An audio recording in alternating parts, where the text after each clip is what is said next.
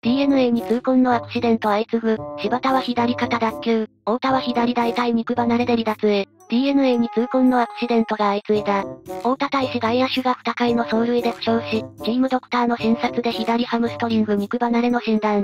さらに、柴田は4回の二塁守備でダイビングキャッチを試みた際に負傷。左腕をだらりと垂らした状態でトレーナーが駆けつけ、そのまま途中交代となった。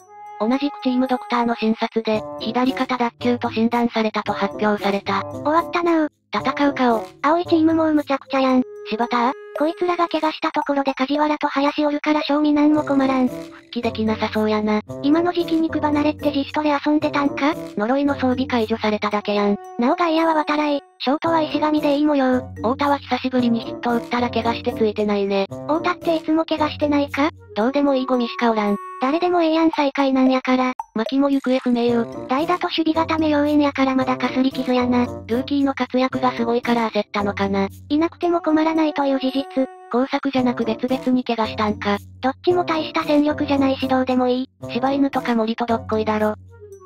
ご視聴ありがとうございました。